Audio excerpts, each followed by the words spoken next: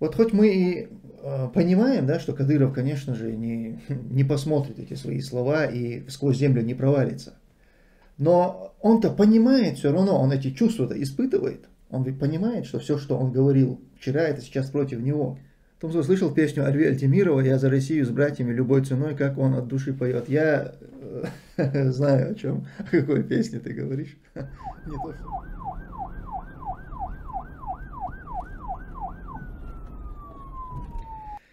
Так, 20-й Куян Квась. Томсо, правда, что у Адама Кадырова большой автопарк и он предпочитает заднеприводные машины? Да, это правда. Это правда. Дуки, салам алейкум. Тумсо, вернись, козлы наглеют. Как бы ты оценил сегодняшнее состояние верхушки кадырятника? Такое чувство, что они все спрятались в кусты. По наблюдениям кажется, что они очень растеряны. Я, наверное, не, не разделяю это мнение, я не вижу там какой-то растерянности. Я вижу просто безмерную наглость, бесстыдство. Вот хоть мы и э, понимаем, да, что Кадыров, конечно же, не, не посмотрит эти свои слова и сквозь землю не провалится. Но он-то понимает все равно, он эти чувства-то испытывает. Он ведь понимает, что все, что он говорил вчера, это сейчас против него.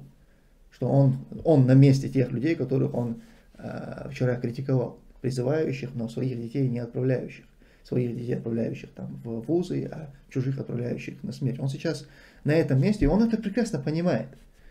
Поэтому просто сейчас нужно ему об этом говорить не только мне там, и людям с этой стороны, но и также тем людям, которые там, в Бахмуте, родственникам тех, кто в Бахмуте.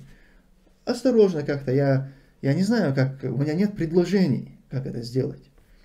Точнее, я, конечно, мог бы какие-то предложения сделать, но публично, опять-таки, это делать э, нельзя, они, они предпримут меры. Но я знаю, что есть способ, и не один, как это сделать, как между собой скооперироваться, создать какие-то группы родственников, тех, кто уже погиб или находится там, затем э, в этих группах анонимно там поначалу какие-то предпринимать координированные действия. Это можно делать. Не просто так же отправлять этих э, своих детей на убой и потом ждать их тела. Это тоже не, не выход.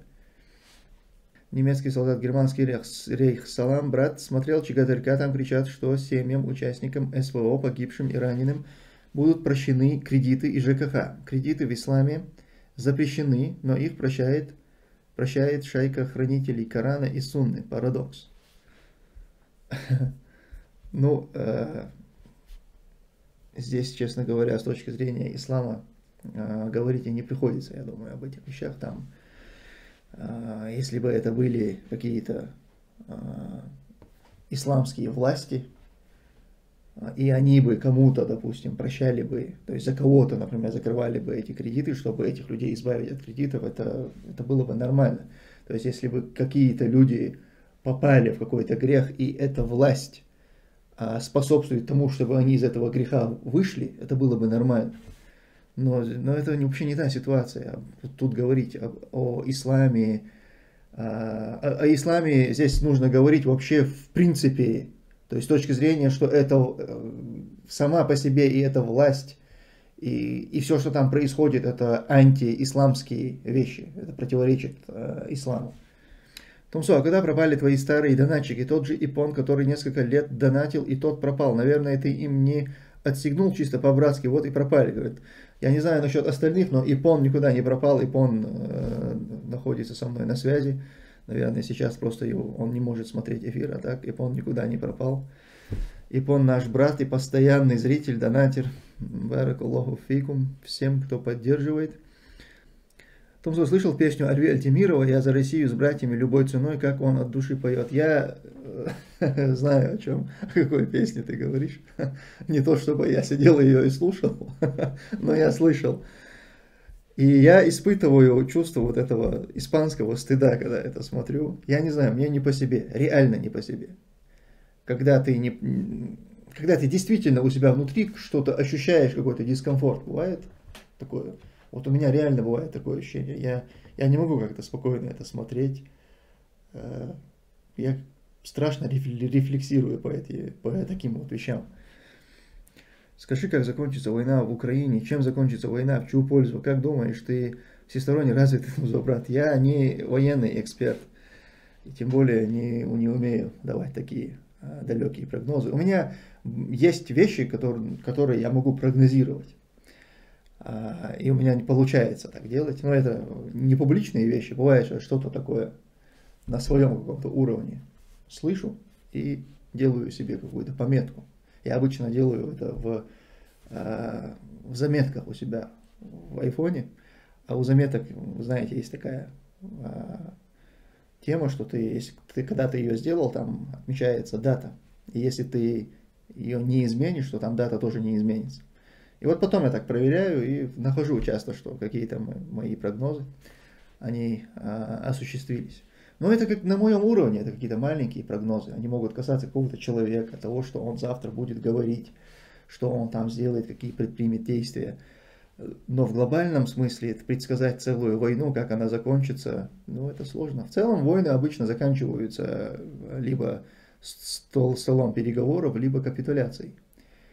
Поэтому здесь, конечно, больше а, вероятность, что это все закончится за столом переговоров, тем более сейчас даже а, со стороны Украины большинство таких известных ораторов а, потихоньку подготавливают людей именно к этому, что в конце концов нужно сесть за стол переговоров, что, то есть они готовят к тому, что нужно будет делать на какие-то уступки идти.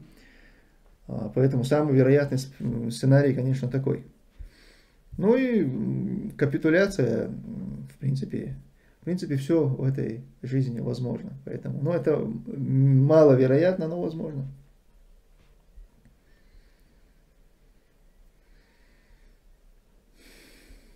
Как ты относишься к первому президенту Чеченской Республики Герою России Ахмад Хаджи?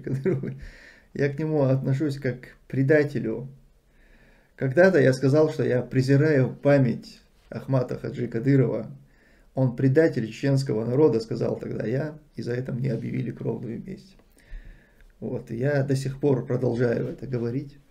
После этого прошло 4 года, я сказал это в 2019 году. Прошло 4 года, кровная месть а, не осуществлена, я до сих пор, хвала Аллаху, жив. И продолжаю говорить то же самое, стою на этом же своем мнении. Что скажешь про нападение на Милашину? Нападение на Милашину с точки зрения официальной э, пропаганды – это какие-то агенты Запада высадились в Грозном в полной амуниции с оружием на нескольких машинах, на двух как минимум. Приехали в аэропорт, э, дождались там Милашину и Немова, затем э, значит, совершили на них нападение, избили их, и потом беспрепятственно скрылись. Удивительно, да, вот такое, сказать такое, и после этого э, на каких-то серьезных щах там людям о чем-то э, что-то объяснять.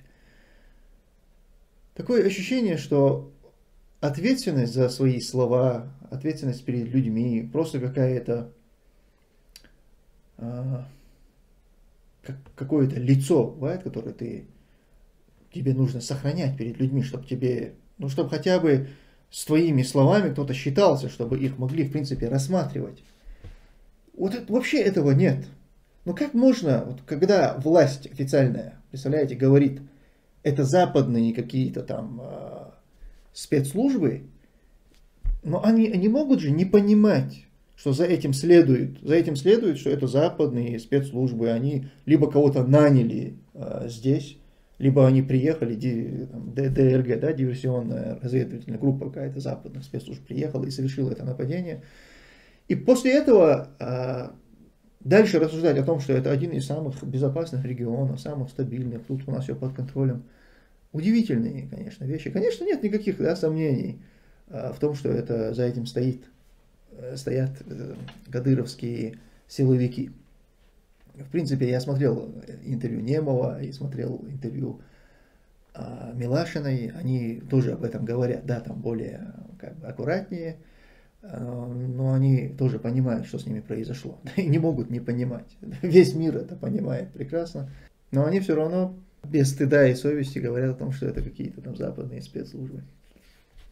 Бывший Гурон, ассаляму алейкум, маршал Ойл Тумсок, Антон Аллаха Маршал, Дойл Кадыров не чувствует ничего и тем более не стыдится ничего, Там другой уровень наглости, тупости, который нам не понять. Ва алейкум ассаляму баракату. Соглашусь.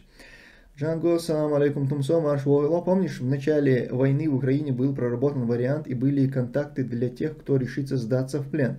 Есть ли вариант эту тему как-то заново поднять? Ва алейкум ассаляму баракату. А, да, есть. И вообще эти схемы, они рабочие, просто нужно а, выходить на связь. И надо понимать, что это непростые такие процедуры. Это не делается там одним днем. И тот человек, который решит это э, сделать, он должен будет взять на себя определенные риски. Просто нужно это понимать. Но так тема это рабочая.